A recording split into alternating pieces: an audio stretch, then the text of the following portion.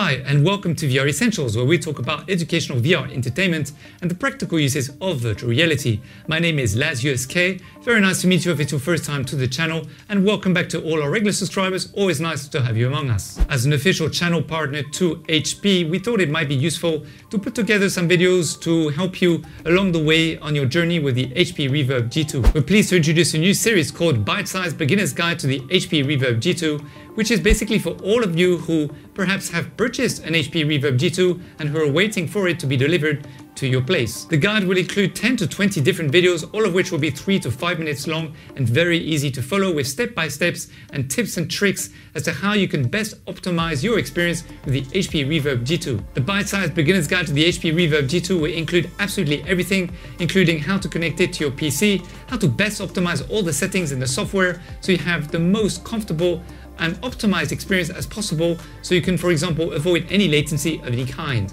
I'll also go through with you how to set up your play space, what kind of lights and how to position those lights so you never get to lose tracking ever again during your gameplay. As I mentioned, there's going to be 10 to 20 different videos covering a whole variety of different topics about the bite-sized beginner's guide to the HP Reverb G2. So do make sure that you are part of the notification squad by enabling the notification bell after you hit subscribe so you never get to miss another video which I'll be uploading about this topic very frequently. Alright, without further ado, let's meet up both together in the next video which is all about what's inside inside the box just to make sure that whatever components you've been sent are the same as me and then we'll start our journey together. Let's go!